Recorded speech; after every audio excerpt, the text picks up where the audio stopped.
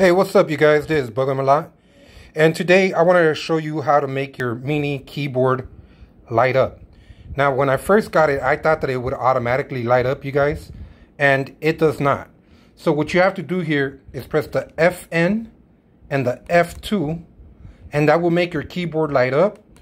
Also, if you keep uh, the FN and keep pressing the F2, it will uh, go through the colors, through its different colors and stuff now, if you do leave it in whatever color you leave, say if you want it in red, it will not stay red, you guys.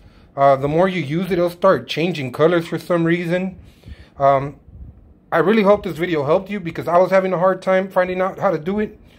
So please remember to like, share, and subscribe to my channel because I'm going to be bringing you more stuff uh, that you might find helpful, you guys.